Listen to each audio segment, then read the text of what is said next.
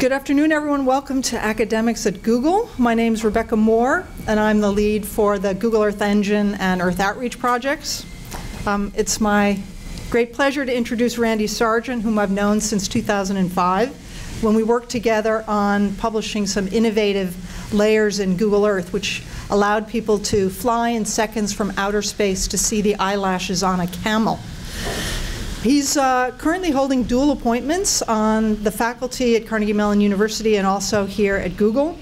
As a visiting scientist with my Google Earth Engine team, Randy's helping to research and develop time-lapse explorable maps, including a recently released time-lapse animation of the entire Earth from 1984 to 2012, which was mosaicked for more than 2 million Landsat satellite images. Um, this earlier this year, time-lapse won the People's Choice Webby for best use of moving images and video on the web. As a senior system scientist at CMU's Create Lab, Randy researches for the Explorables project, developing ways to interactively explore and understand large data sets and complex systems, including air and water quality and employment and economic trends. Prior to CMU and Google, Randy helped develop planetary rover software at NASA and he, uh, he received his BS and MS from MIT. So welcome, Randy. Thank you, Rebecca. Thank you, Rebecca, and thanks so much for everyone being here.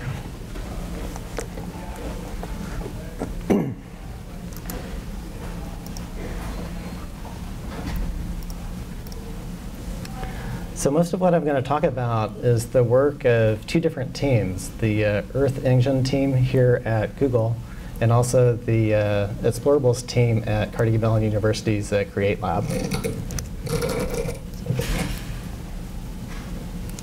First, I want to really dig into Earth Engine and, and, get you motivated about why it's so cool and why it really motivated um, those of us at CMU to come here and, and work on this project. Um, Earth Engine in a very, very short form is what happens when you take all of the images that come from the many dozens of say, um, scientific spacecraft orbiting the planet uh, run by the US government and other governments.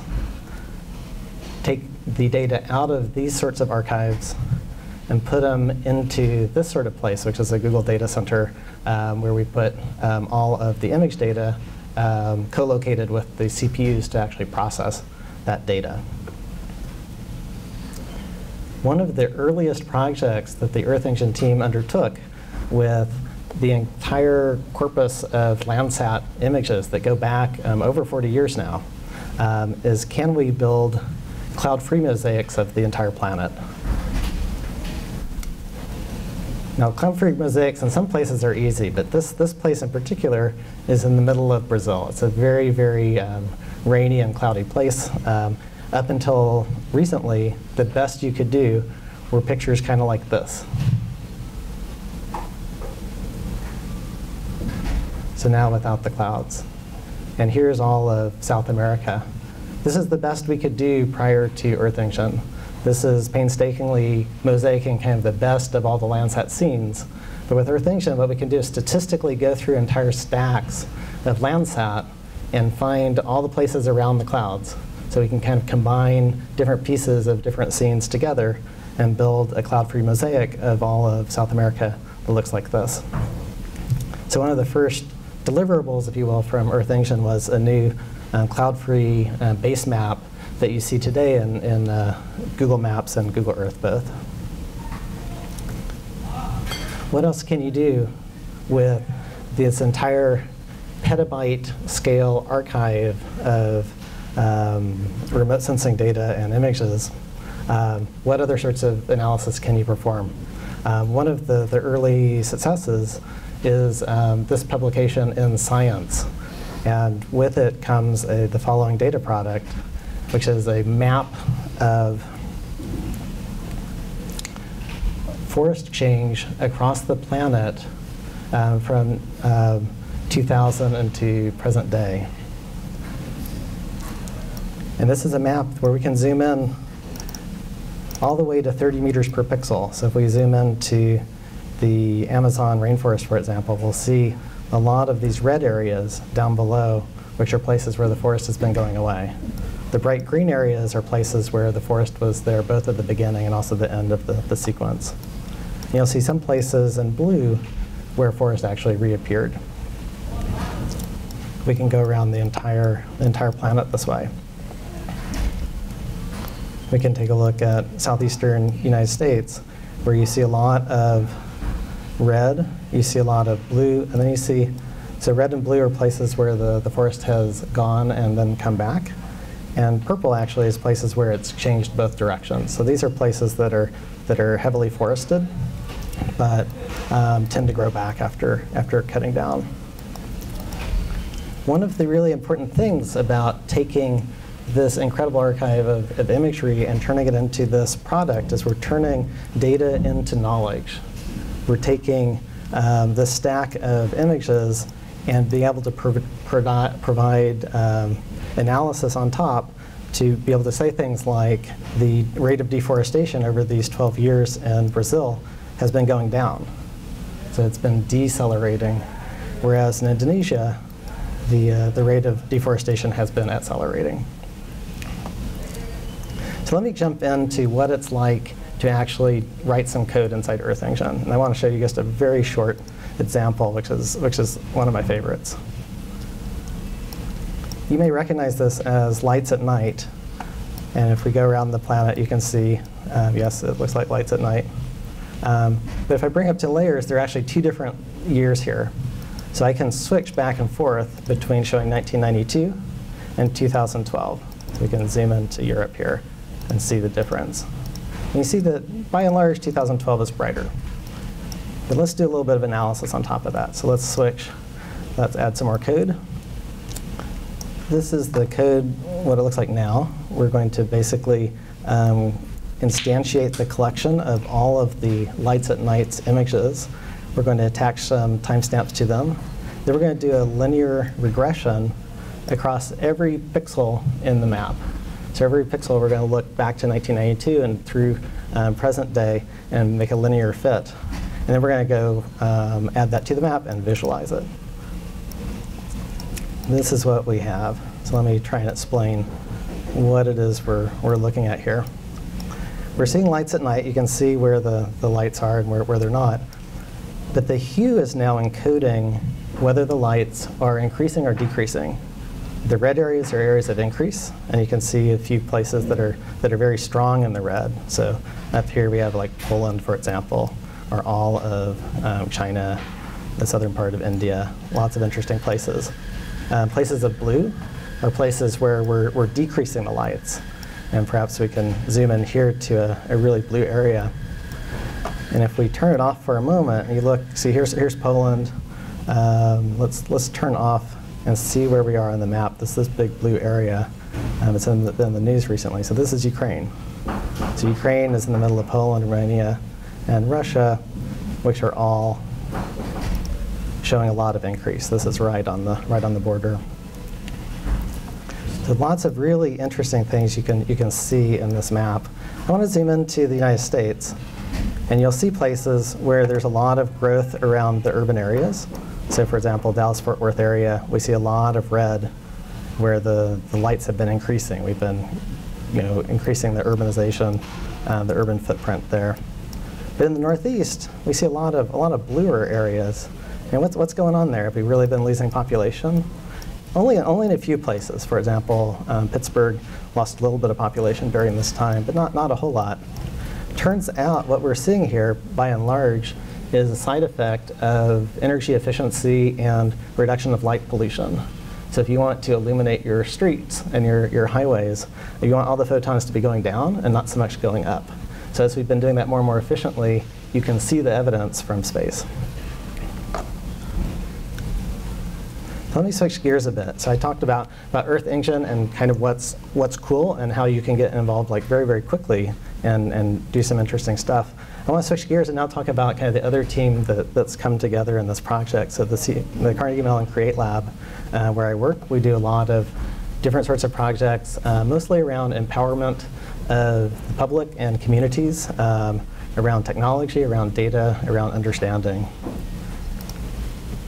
Rebecca alluded to the Explorables project Um, this is a project that we're working on to try to make, especially time series data, whether it's perhaps time series images of the planet or time series other sorts of things, um, explorable and more, more understandable.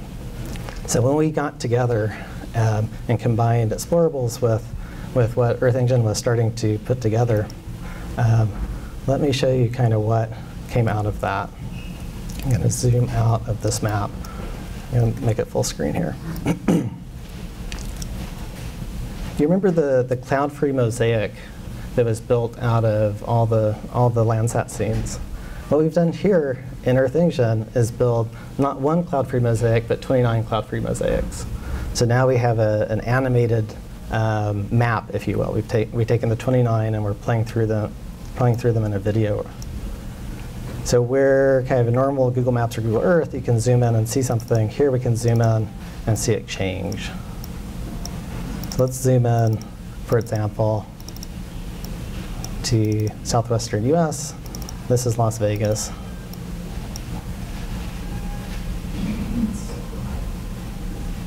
So you can see over the 29 years here, Las Vegas is growing a lot. We can zoom in even further and see kind of it in great detail what's happening. We can see the, the suburbs forming and expanding outwards. We can see how the, how the runways had to double up here in the, uh, the airport. We can also pan to the east and look at Lake Mead. So this is the side of the Hoover Dam. And at that same 29 years when Las Vegas is growing, Lake Mead is shrinking. So you can see this thing starts off as an island and is not an island by, by the end. So you can see in, in several different ways our footprint on the Earth here.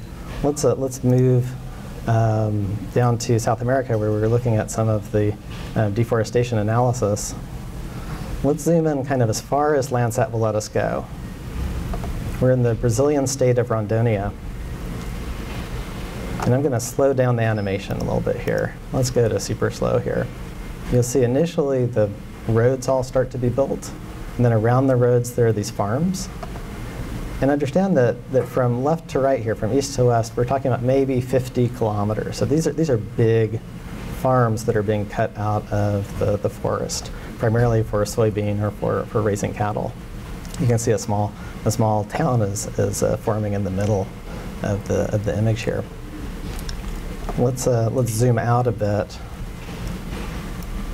So now we're seeing maybe a quarter of the Brazilian state of Rondônia. Going to speed back up. And you can see this, this road stretch out and uh, how quickly this entire area kind of fills. You also see some, some interesting shapes appear. So now we're looking at the entire state of Rondônia. And you'll see these, these funny little cut out areas. And we're going to get back to those in a little while. Um, because keep in mind that the deforestation is not happening everywhere, but it's happening in a lot of places. Let's zoom out even further. Now we can clearly see the Amazon River. Uh, we can see um, a lot of different things, but if you look along the southern extent of the Amazon, you see it retreating. And it's uh, the, the scale is uh, the first time I saw this, I was I was blown away because I, I didn't understand that you know, if you could look at it from space like this, um, you could still see it happening. It's, it's that that big what's going on. So I'm going to zoom into another spot. So now we're at the, the, uh, the uh, uh, tributaries to the Amazon in Bolivia. And we're right off of the, the Andes Mountains. And here you see a different sort of thing happening. You see, watch the rivers go. So these are, these are called meanders, and the river is meandering. And what that means is that as the sedimentation comes from the Andes and gets deposited, the river actually changes its banks. It moves to different places. And you'll see in places where the, uh, the rivers um, you know, loop back so far that they, they meet themselves and they end up burgeoning these little ringed lakes that are called oxbow lakes. And if we follow this, we can follow this all the way to the Amazon and see um, this really impressive change happening.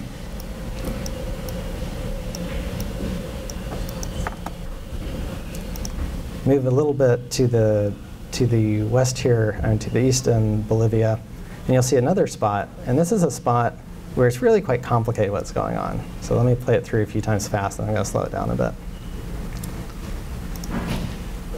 So you see a lot of deforestation happening. You see a lot of a lot of forest turning into farm. But this river is doing something kind of crazy. So the river is actually breaking free of its banks and going a different path, and then you had a third path over here. And if we slow it down even further, you'll see as it breaks free of its path, I'm going to pull back in time just a little bit. As it breaks to its new path, it actually floods this entire area. So this area which had been farming um, basically got completely washed out. So we'll just watch again slowly. This is one of the things that, that rivers do in areas where they're depositing sedimentation over a large area. So they avulse and they switch between path and path, and they, are basically just dumping, dumping uh, uh, sedimentation over this entire area over time. See the same thing like in, in river deltas. Let's look at some other things that the, that, uh, the, uh, the water is doing here. So we're going to go to Cape Cod. This is the south end of Cape Cod. Let's speed it back up. What you see here is the way that the, uh, the beach is changing over time. You'll see places where, where things break through. You'll see places where the, the beach is rebuilt. And you'll see that by and large, most of the sand is moving towards the south.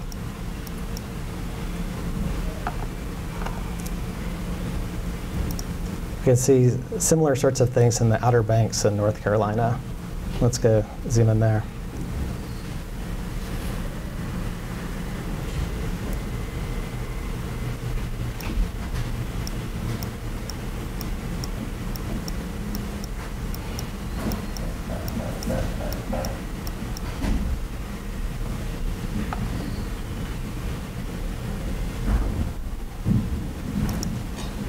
Let's move to Iran, where we can see Lake Urmia.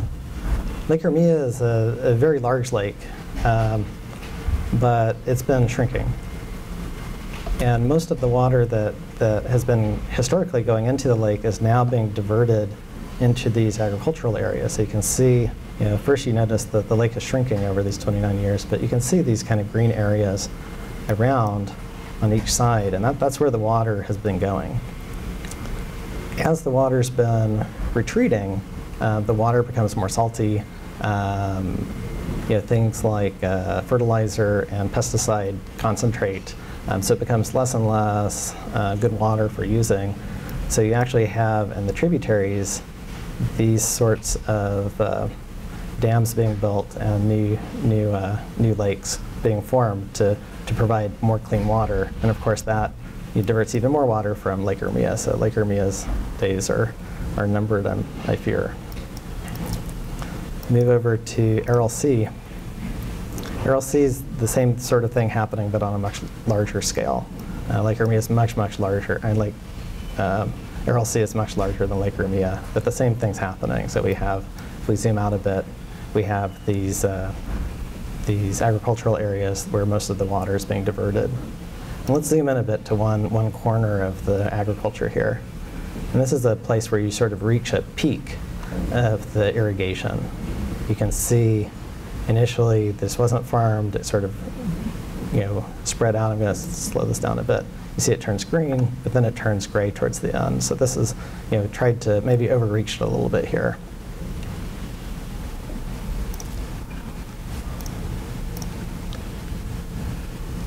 Let's move to Saudi Arabia, um, another place where we're, we're irrigating in a, in a very dry area. Um, all the water for this center pivot irrigation is being taken from wells, um, from water that was, was put there you know, eons ago. So it's not, it's not being replaced very quickly. So this, this can't last for long. You can see kind of how, how crazy the extent of this is.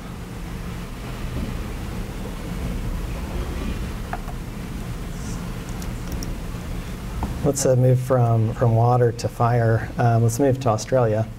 if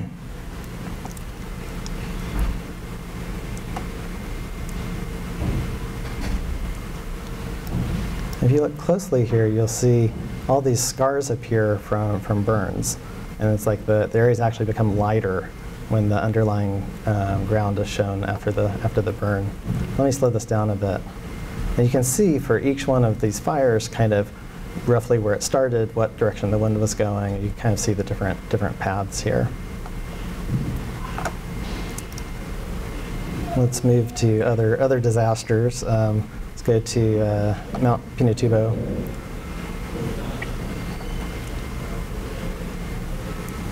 So this is the, the caldera.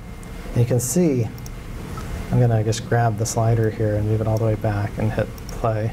And you'll see as this appears, you'll see all the rivers of ash kind of going every which way from Mount Pinatubo.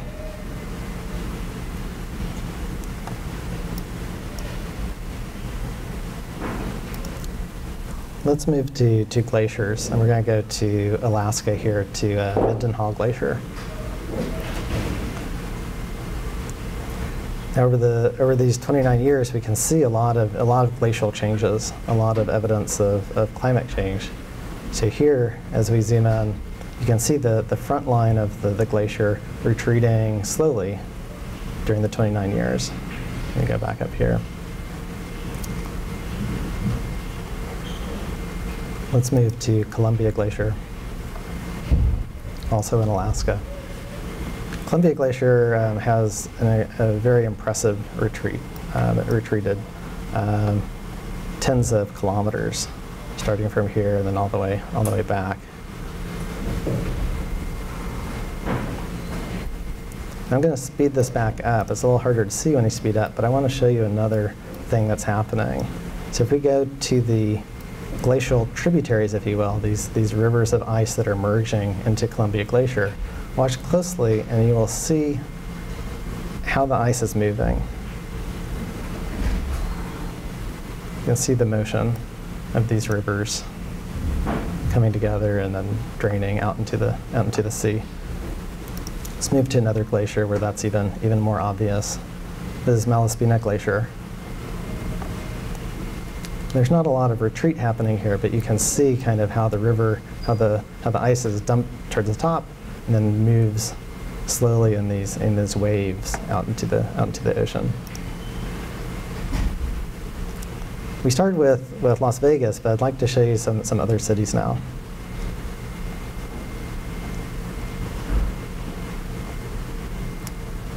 This is Shanghai. And this area here is the, the where Shanghai proper was in 1984. And you can see as we go through our, our 29 years that by the end, it's kind of hard to tell where Shanghai ends and other things begin.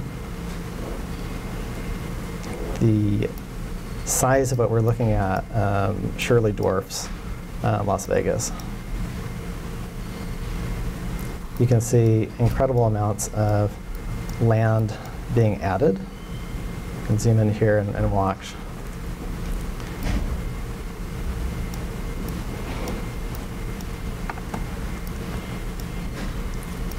Let's move a bit south to the Pearl River Delta. Um, that's the site of a lot of electronics manufacture, and Hong Kong is, is right, right out here. you can see over these 29 years, we go from a lot of farmland to huge urban expansion.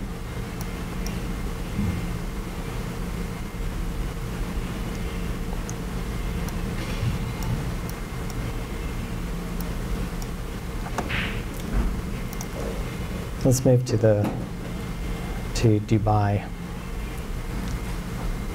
Dubai is, is one of the most impressive sites of, of engineering, um, engineering new, new land. So we can look at the islands being built here. Let's slow that one down up to and zoom in. These are the, the Palm Islands. They're two, two sets. I'm gonna hit pause and just drag to the very end here. You can see both, both then let's look up here to the north. These are the world islands. If you look closely, you can see how they map to the, the world.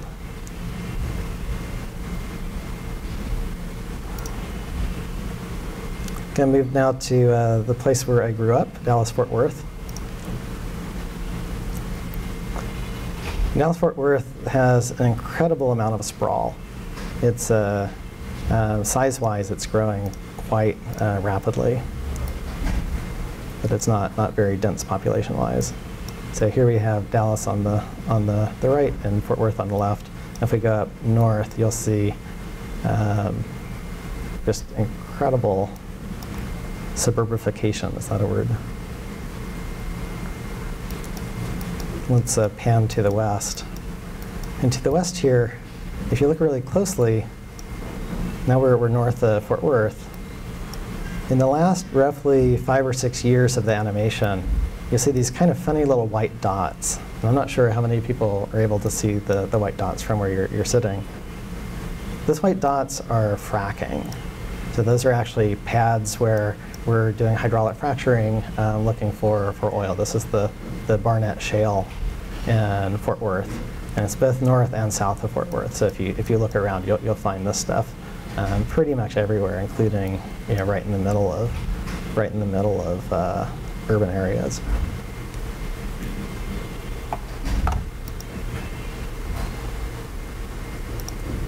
Let's move to Colorado. It's another, another site where there's a lot of hydraulic fracturing happening.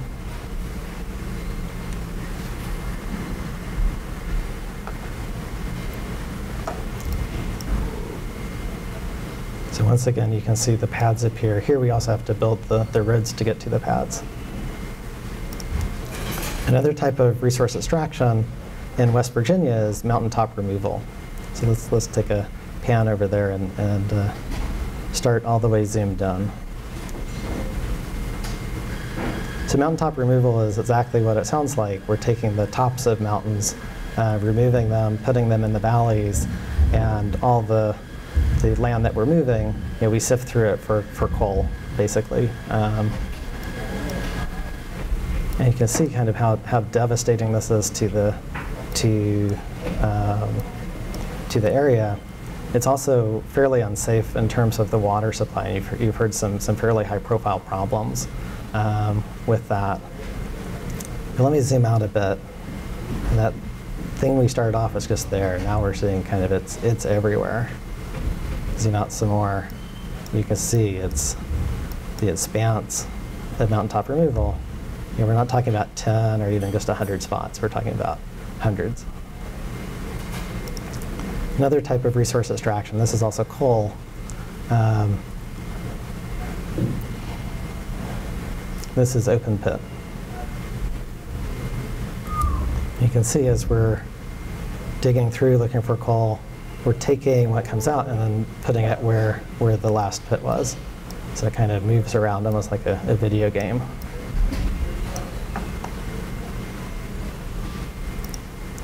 Let's move to Alberta, Canada, and look at some of the things happening around the tar sands. This is a huge facility.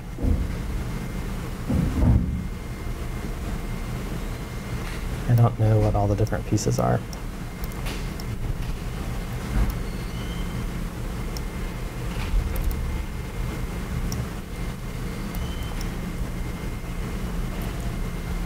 Now you're looking at the tar sands, but if you look to the to the east here, you'll you'll see something kind of catches your eye. So this is this is uh, logging. So we're we're um, cutting down trees here um, for the wood, and if you look closely, you'll see that it, they get cut down twice. Once right at the beginning, and once at the end. And if you watch it, you'll actually see that it's an alternating pattern. So the kind of the evens were cut at first and the odds were cut later. Let's look at another place with some active logging. This is in Washington State.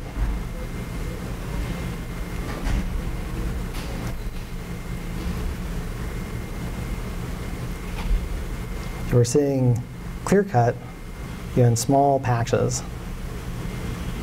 And then those slowly grow back and then get clear cut again. So I said that we are going to loop back to the Amazon and look at some of the some of the patterns of deforestation there. So let's let's do that. You remember these shapes, especially if we zoom into to Rondônia here, these, these funny little places where people don't seem to be cutting down trees. Let's turn on part of the story here. This is the world database of protected areas. And in green, we have kind of every region that's been recorded by Brazil as a protected area. Now, different protected areas are, are different, but this one in particular belongs to a native people, the Surui, who uh, Rebecca and the Earth Outreach team have, have worked with uh, personally in, in Brazil. And you'll see that this is, this is territory that belongs to them. It's been set aside by the Brazilian government. Um, it is illegal to cut down trees here. You can see it happens anyway. You can see if we zoom in, um, people try to come in sometimes in the middle of the night and try to, to chop down some trees. Um, my understanding is that the, the peoples in this area have moved most of their population to the borders to try and prevent that. And so they're, they're trying to police their, their own borders and keep the illegal loggers out right now. To me, this, this shows like a, a very different story than the kind of depressing story that I, that I saw initially when I, when I first saw the deforestation. Um, and you can also start to see how it might be that Brazil is starting to decelerate its deforestation. I mean, in places, we're actually bumping right into the areas that have been set aside either for indigenous peoples or for, for other reasons. You can look around other spots, same story. Here we are in Pará. In this area that kind of sprouts out, it almost like, you know, blooms like a like an evil flower here. Um, but it's basically steering clear of these protected areas. And we have this database now for the entire planet. So let's uh, let's go take a look at, at other spots. If we go to um, let's go to uh, back to Washington State. We're going to look at a reservation, um, Native American reservation in Washington State, the Quinault Reservation. It's not protected nearly the same way as the Surui. You can't really tell the difference. Let's move to another spot in the US. There's a spot where policy changed um, partway through the animation. So look closely here. At the beginning, you'll see pretty much everything is being deforested equally between the left and the right. And towards the end, you'll see a border appear. It's a little hard to see. But the, to the right is actually the Clearwater National Forest. And by and large, forests are not protected from, from being chopped down, but sometimes there are different policies inside the national forest and outside. Let's move to Indonesia.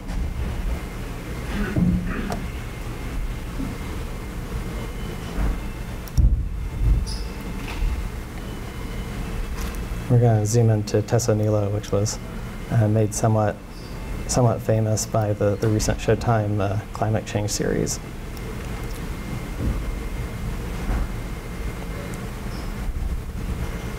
This is the protected area, and there's really, you can't really see the border at all. Like if we go to 2012, you can't really tell what's been protected and what hasn't been. That's the end of, of the, the landscape. Let me, let me switch gears and, and move to some, some, other, some other things here. Excuse me. Um, one of the new areas that we're, we're pushing on is um, what to do when you want to visualize large amounts of data that's not raster, that's not image-based. And you'll see here we have like maybe 3 million different protected areas, but that, that's, that's kind of small. We're worried about like what about tens of millions, hundreds of millions, billions of, of things which are not raster pixels. So you've probably seen things that look a little bit like this, uh, up on the top or up on the bottom here. Uh, or you've seen heat maps, which are, which are fairly low resolution. But I want to like call your attention back to the, the lights at night. I want you to think about Lights at Night for a moment as, as something different. So it's, it's a, it is a raster product. It's come from a raster um, um, satellite. Um, but think about it not as raster, but as a visualization, a really awesome visualization of a billion light sources, or billions of light sources. And I think you'll, you'll agree this is superior to any of the three things we just saw. Uh, so you're seeing an amazing amount of expressivity. You're seeing kind of quite clearly where the cities are. You're seeing kind of this you the spider web of things that are joining the cities, the interstate highways, and things of that nature.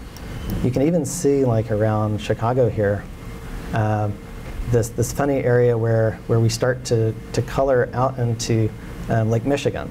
So this is actually um, yeah, an optical effect of, of normal camera systems. So you have when the light gets super, super bright, you know, the, the apparent image starts to bleed outwards. And there are a few different mechanisms of that. But the most, the most common is simply that when photons hit the lens, they may or may not scatter. Um, and you try and keep the lens you know, as clean as possible to keep that from happening too much. But when you have a lot of brightness in the middle, you start to see that. So for normal people, when they, when they look at this, they will tell you that that pixel here right off of, right in the middle of Chicago is brighter than this pixel down here.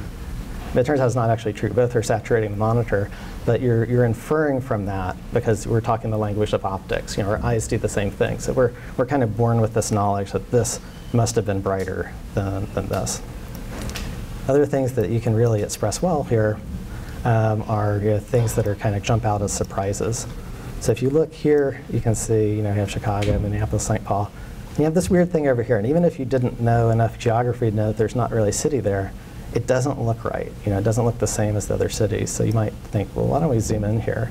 And you look a little closer and you say, what the, what's going on here? You see all these strange horizontal uh, bands, and you wonder, what, what does that mean? You know, is that, the first time I saw it, I thought it was an artifact. I thought it was an error of the satellite. But we'll, we'll get back to that.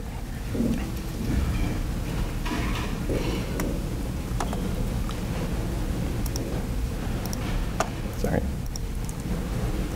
So I want to show you the, the first visualization we built, kind of using that as an inspiration. So I'm going to uh, stop the animation, go straight to the end.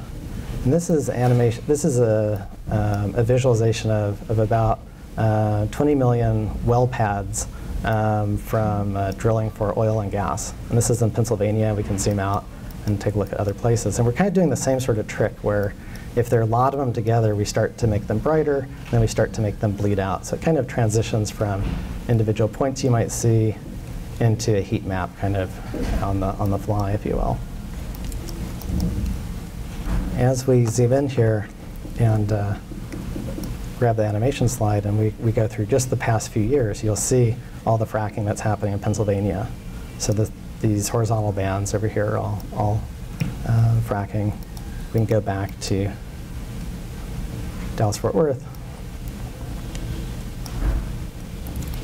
And we can look at what was going on with all these strange lights up in North Dakota. And it turns out, if you look closely, I'll switch to map, it's a little easier to see. Sure enough, all these wells were being drilled in these horizontal bands. Like, what's up with that? So you zoom in a bit more and you see these are all on the roads. And even in places where you don't see the road, it's just because our, our map's not quite up to date yet. So these are also places where we're, we're uh, fracking. Uh, North Dakota is unusual because we're fracking for oil rather than gas. And we're just throwing away the gas that comes out. So a third of the carbon that comes out of the ground from North Dakota um, from, uh, is, uh, is burned. So it's being, it's being uh, sent straight into the atmosphere. Let's keep moving on. So what if we have a lot of vector data that we can animate? What we're looking at here is, is fires uh, from space. And you watch closely, and you'll see different sorts of things happening, right? You see, like, if we zoom into Africa, you'll see a, a year's worth of fire that we're, we're cycling through. You'll see fires up here in the, the north of the equator and to the south of the equator. Let's turn on satellite, and you can kind of see in the middle, we have like this really dense forest. But these are agricultural areas up in the north and up in the south. And this is a form of agriculture called swidden agriculture. So it's, uh, this is, these are fires being set by people. We can look over here and uh, uh, between India and Nepal and see kind of every year it kind of marches up from Southeast Asia up here with the seasons. So you do this kind of once a year to prepare the, prepare the ground for the, the next year's growing. You can also see other sorts of things. You can see things that are not changing so much over time. You see these very bright areas. And you see that a lot of them in the Middle East, and you can imagine what they are. So these are all uh, flaring from, from, uh, from oil, uh, oil wells. So we can zoom in here and actually see on the satellite kind of what, what it must look like on the ground. And you can see these things on fire, these very dirty fires in this particular spot.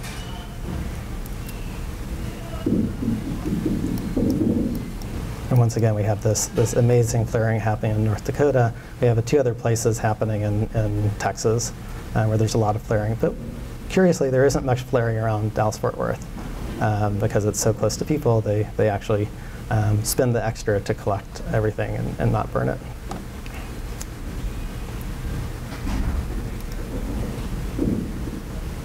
What if we combine that visualization of fires with a satellite map that also can animate over the, the course of a year? Let me show you the same spot in Africa. So unlike the, the earlier animation that we saw was built from Landsat, this is built from MODIS. And it's, a, it's still a, a prototype right now. But what we can see is the seasonality of the brown and the green in this area and kind of how in phase the uh, fires are with it. We can do the same thing up here.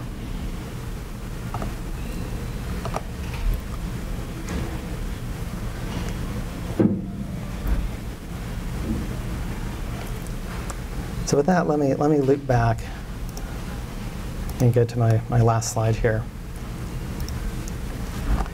So looping back to, to time lapse and kind of the experience we had um, putting this together with the, the Earth Engine team, um, the success we had with, with uh, Time Magazine, um, it, it really brings home to me you know, the reasons we did this, the reason we, we, we you know, decided to do this together and kind of all the amazing things that, that kind of I observed you know, working with the Earth Engine team uh, is an incredible group of really talented and capable people.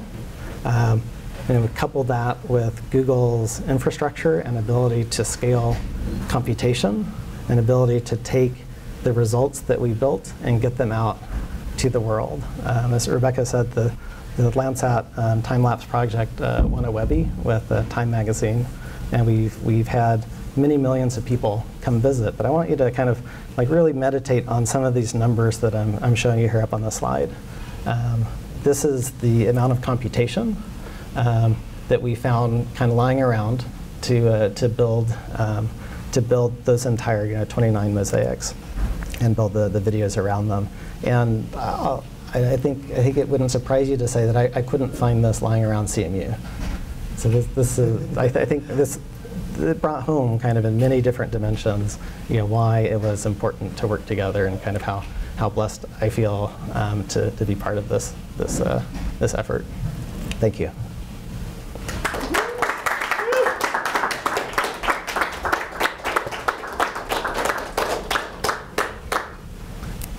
Any questions? Yes. So two million hours of computation, is that what, what uh, scale of? It's a, yeah, two, two million core hours, so, so yeah. Other questions? Jeff? It's, it's nice to see, and it's kind of startling just to see what's happening with the Earth.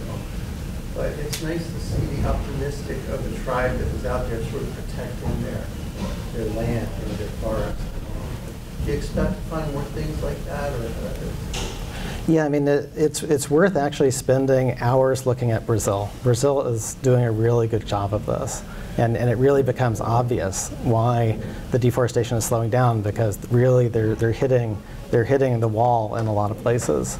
Uh, that's not true everywhere. But, it, but it, it shows that when we decide to, to set a policy for, for good reasons, um, you know, things can change. You know, we, we have control. It's not, it's not this inexorable you know, progression until all the trees are gone. Have, have you seen instances of governments actually use this these really powerful visual, visualizations for uh, for actual policy making? the question is, have, have we seen places where, where the governments are, are using this? And, and it's starting to happen. I mean, so we're, we're starting to see in places um, that people are, are starting to you know, actually, actually look at this. I know that, that here in the, in the US, um, this has gone to you know, congressional um, subcommittees, and uh, I, I, think, I think that we're going to see more and more of that, of that happening. Yes?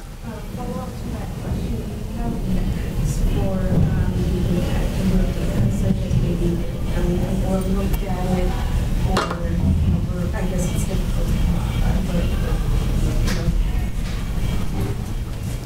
So the, I, I think you're, you're asking kind of how, how many people are, are looking at it? Like how is it being used or? It's, it's a really good question. I mean, and we're, and we're, you know, Earth Engine is a complicated thing. So, so we've been focusing on the, on the time lapse for the last little bit here. Um, Earth Engine itself, in terms of, of researchers using the platform to do analysis based on kind of this, this incredible archive of, of images connected to all the computation, um, the usage looks a little, little bit like a hockey stick right now. So we're seeing more and more people. So you saw that the, the initial science publication um, led by, by Matt Hansen and a group of people actually here, here at Google. Um, you're seeing you know, many, many people kind of following in, in those sort of footprints. So you're seeing kind of an explosion of analytical results, and I hope an explosion in kind of visual results as well, so that we can reach out not only to, to researchers, but also to policymakers and to, uh, to the public altogether. Yes? Are all the web apps that you showed publicly accessible? Um, Everything I showed you is publicly accessible with the exception of the World Database of Protected Areas. The, the, uh, everything else I showed you was, was public. Is that, is that connected somehow? Or just, Uh, we, we just haven't, we haven't gotten to the point where, where we have a public version of that. what about, when you were doing uh, math on the, on the light data, was that running in browser or on center? The, uh, the math being done kind of on, on the fly um, when, we were, when we were doing kind of the linear regression on the lights, um, that's being done on the server side. So you can potentially have very, very complicated, um, that was accessing maybe, maybe 30 images over a, over a sequence of years. Uh, sometimes you'll be doing image, you know, calculations over maybe a stack of 500 or 1,000 or more. So it really needs to happen in the cloud. And then that's, that computation is basically being um, done on, on demand. So you don't do it for the whole planet, you do it for the part that you're looking at in the map. And as you zoom in, each tile is being built on the, on the fly. Other question? Will you be updating this data uh, over, over time? Will we be updating the data over time? Yes. Any more questions? Uh, thank you, everyone. Oh, sorry. Yes. Um, it's bit, like, are you planning to, in the future, take, like, the fracking example, like, where all the fracking is occurring across the US and sort of trying to maybe estimate what the carbon footprint is, and that's what the amount, mo- amount of money made the? The, the question is, what, what are sort of value add products that can be done on top of the, the fracking data? Like if we know where all the wells are being draw, drilled, what can you compute from that? And that's an area where, where Earth Engine is now like branching out into. Um, it's very, very strong in the raster um, computation now. Um, but Earth Engine is starting to build analytical tools to be able to answer exactly that, to be able to answer things like, um, you know, what is the rate of change of you know, the, the drilling wells, you know, what, what sort of impact might they have? You know, let's intersect that with local populations, you know, with, that are downwind and things of that nature. So the, those are the sorts of things being added to Earth Engine right now. Thanks.